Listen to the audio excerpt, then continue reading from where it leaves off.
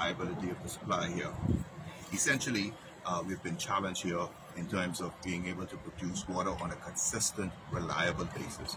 Part of that is because of challenges with maintenance of the plant, and so we'll be taking several steps. One, as you see on the next slide, uh, we have moved a uh, portable desalination plant into position, and we're waiting to get that uh, hopefully connected and electrified in very short order to improve the production capacity at this facility.